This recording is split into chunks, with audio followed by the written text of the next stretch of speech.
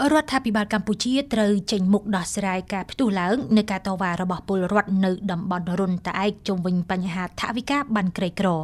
នេះបើតាមសេចក្តីថ្លែងការណ៍របស់គណៈបកកម្លាំងជាតិនៅថ្ងៃទី2កុម្ភៈនេះសម្រាប់គណៈបកកម្លាំងជាតិការតវ៉ារបស់ពលរដ្ឋនៅតំបន់រុនតាឯកគឺដោយសាររដ្ឋាភិបាលកម្ពុជាទាំងចាស់និងថ្មីកំពុងអនុវត្តគោលនយោបាយជាតិស្តីពីការផ្ដាល់បានក្រីក្រដល់ពលរដ្ឋមិនច្បាស់លាស់ ពលផ្ទុយពីគោលការណ៍សន្យារបស់អតីតនាយករដ្ឋមន្ត្រីលោកហ៊ុនសែននិងលោកហ៊ុនម៉ាណែតនាយករដ្ឋមន្ត្រីបច្ចុប្បន្ន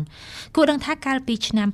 2022លោកហ៊ុនសែនបានសន្យាផ្ដល់ជូនបានក្រីក្រប្រភេទមួយដើម្បីទទួលបានប្រាក់ឧបត្ថម្ភផ្សេងៗរយៈពេល10ឆ្នាំចំពោះពលរដ្ឋដែលស្ម័គ្រចិត្តចេញពីតំបន់អង្គរទៅរស់នៅតំបន់រុនតាឯក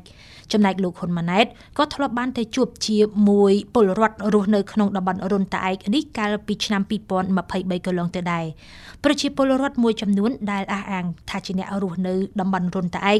បានត្អូញត្អែតាមបណ្ដាញសង្គមថាពួកគេកំពុងជួបវិបត្តិសេដ្ឋកិច្ចគ្រួសារធ្ងន់ធ្ងរនិងអាចឈានដល់ការរឹបអូសទ្រព្យសម្បត្តិដោយសារបំណុលប្រសិនបើរដ្ឋាភិបាលបន្តកាត់ប្រាក់ឧបត្ថម្ភទៀតនោះ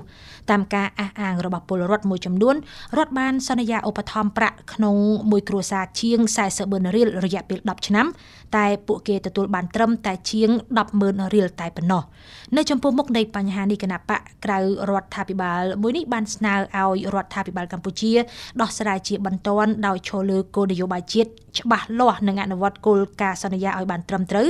ដើម្បីលើកកម្ពស់ជីវភាពការរស់នៅរបស់ពលរដ្ឋនៅក្នុងតំបន់រុនតាឯកនេះសូមជម្រាបជូនថានៅក្រៅផ្ទុះការតវ៉ារបស់ពលរដ្ឋប្រមាណ400នាក់កាលពីថ្ងៃទី26មករាឆ្នាំ2024រដ្ឋាភិបាលខេត្តសៀមរាបបានចេញសេចក្តីថ្លែងការណ៍មួយដោយបញ្ជាក់ថាក្រមការងារចម្រុះដែលមានតំណាងក្រសួងសង្គមគិច្ចតំណាងរដ្ឋបាលខេត្តនិងអ្នកពាក់ព័ន្ធផ្សេងៗកំពុងដោះស្រាយលើការតវ៉ារបស់ពលរដ្ឋនេះឲ្យបានឆាប់រហ័សក៏ប៉ុន្តែលទ្ធផលយ៉ាងណានោះគេនៅមិនទាន់ដឹងដល់ឡើយទេគិតត្រឹមថ្ងៃទី2ខែកុម្ភៈឆ្នាំ2024នេះ